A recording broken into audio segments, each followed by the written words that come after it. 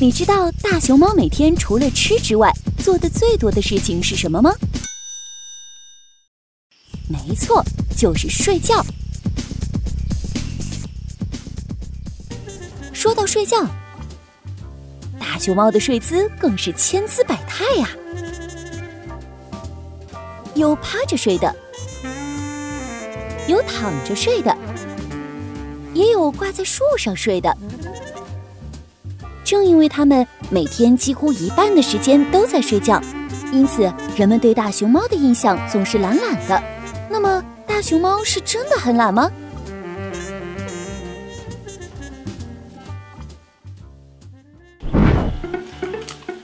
其实，大熊猫在分类学上属于哺乳纲食肉目动物，它们具有典型的食肉动物特有的消化系统。但是呢？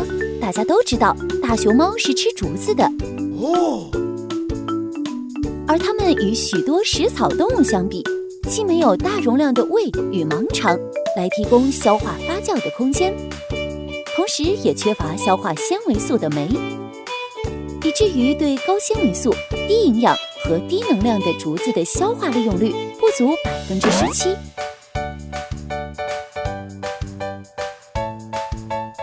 不仅如此，大熊猫的肠道因为直且短，所以吃进去的食物仅在消化道内停留八至九个小时后就会被排出了。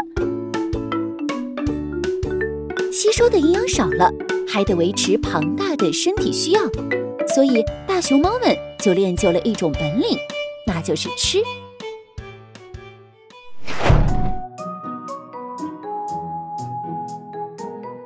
大量的采食和食物快速的消化，从食物中最大限度的获取营养和能量。因为大熊猫对竹子的消化利用率很低，为了有效的节约能量消耗，所以大熊猫吃完之后就会开始休息睡觉。